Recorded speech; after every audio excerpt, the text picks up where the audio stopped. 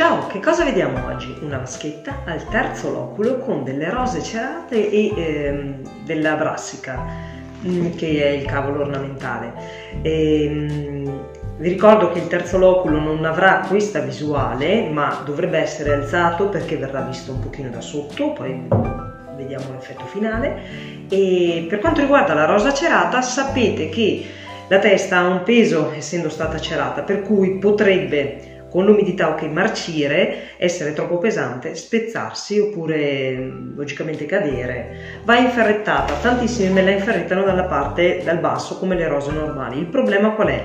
Essendo la testa pesante, anche se io la inferretto dal basso e questa cede, tende comunque a spezzarsi. Allora, quello che consiglio è forare sopra diciamo la, il collo della, della, rosa, fare in modo che il filo di ferro mi passi e a questo punto creare un rinforzo okay, sotto al gambo della rosa che se questo un po' marcisce comunque il bocciolo me lo sostiene in più. Se facciamo l'incrocio eh, diciamo parte a parte forse ecco è un po' più resistente io lo faccio una volta sola e comunque vedo che non ci sono problemi e la rosa cerata, eh, colorata, scura, non farà mai, non mostrerà mai quando la vera rosa si sta marcendo. Invece la bianca tende a scurirsi perché logicamente quella all'interno, la rosa all'interno marcisce perché diventa scura.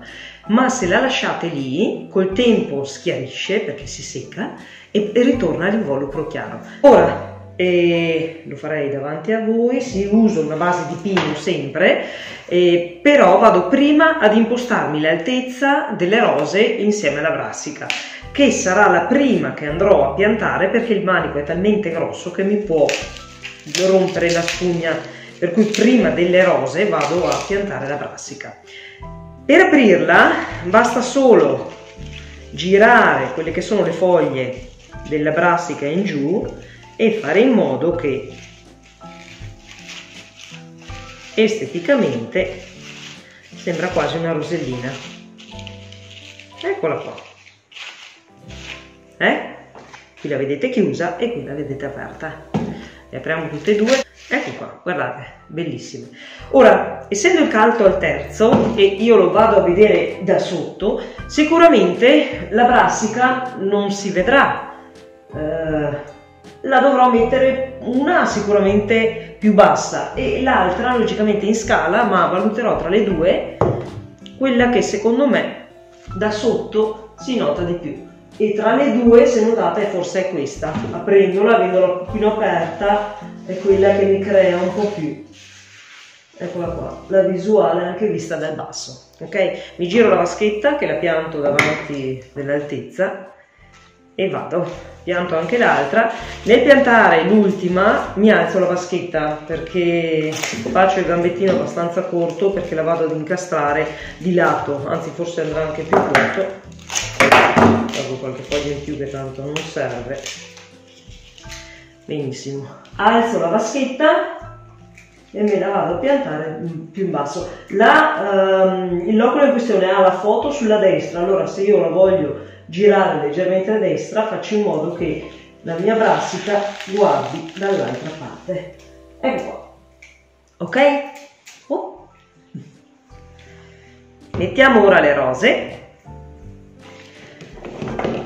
Guardo quelle più piccoline che metto in alto e le altre logicamente vanno a scalare. Non voglio fare una punta, cercherò di creare una rotondità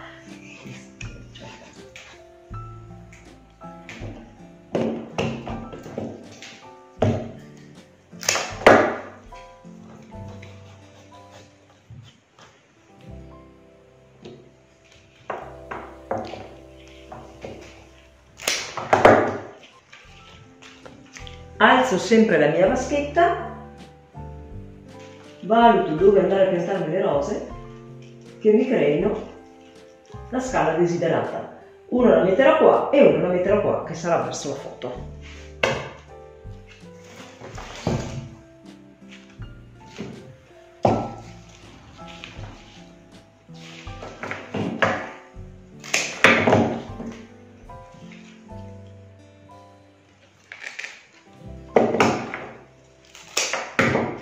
Mentre tengo la vaschetta in mano ho preso la misura della, della rosa, eccola qua.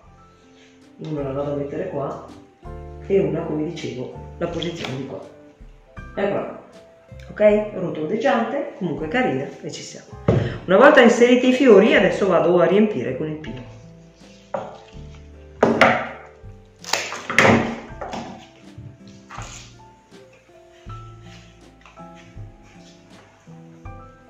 ok?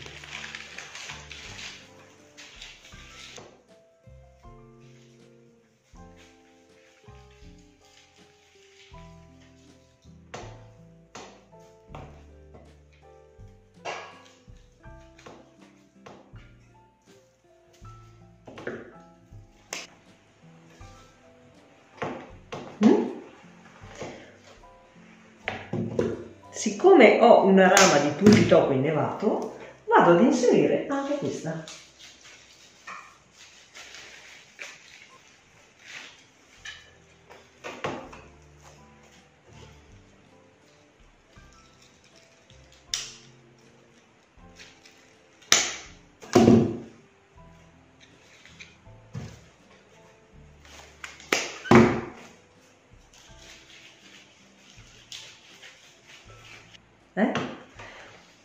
Per dare un tocco in più una ramita di dorato.